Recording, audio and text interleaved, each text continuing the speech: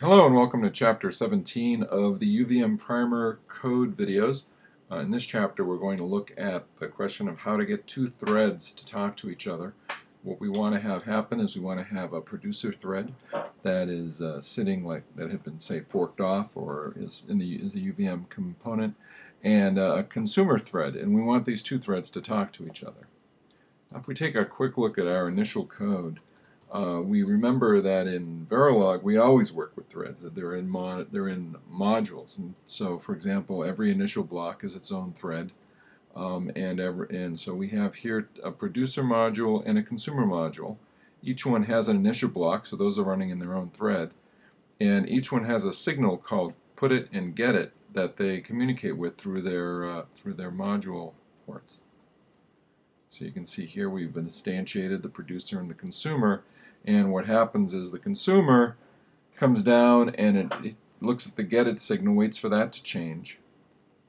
Uh, the producer comes down, uh, puts some data into this shared variable that we're using, this shared bus essentially, that we're using to control and share data between the two. Uh, then it flips the get it bit and then it waits for the put it bit. That causes him to block. The get it bit flips and that enables this guy to read the shared bus and then to flip the put it bit, come back up around, and then block. The put it bit enables this guy to come back up around, put another piece of data in there, and then flip the get it bit, and then block. Without this blocking, uh, you wouldn't have communication because one thread would run all the time. So blocking is critical for communication and for coordinating behaviors between threads. Let's see how we do this with classes. Um, let's just look at a top level here. We're going to create some um, UVM components. Here's our UVM test. We have a producer component and a consumer component and a thing called a UVM TLM FIFO. And the FIFO is what's going to allow the communication uh, and also the blocking. And we'll look uh, inside the producer and the consumer and then come back out and look at this top level. So if we look at the producer, we see the producer has an object called a UVM put port of type int, so it passes integers. Um, we declare a variable to hold the put port. This is from the UVM.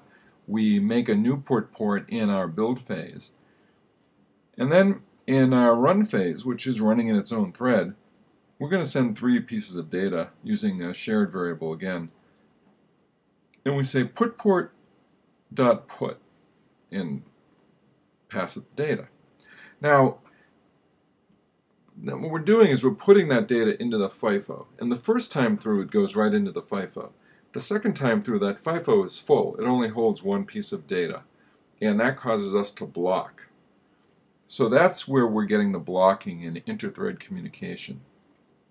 If we look at the consumer, the consumer started out, again, he created a get port, a UVM get port, made an instance of it, and down here, he called the get method on that get port. But when he called it, the FIFO was empty, so he blocked.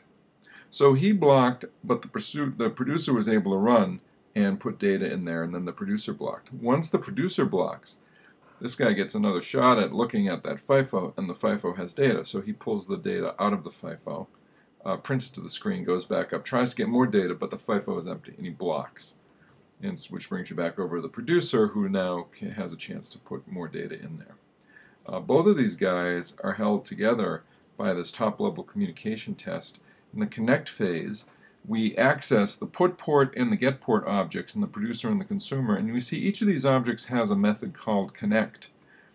And the uh, FIFO, right up here, our UVM TLM FIFO that we instantiated right here in the build phase, the FIFO has a put export, remember like the analysis export from before. It has a put export object and a get export object. And we call connect on our put port and we pass it the put export object. And we call connect on our get port and we pass it the get export object. And now the producer and the consumer are connected and they can do the communication that we just described. And that's how you do inter-thread communication in the UVM.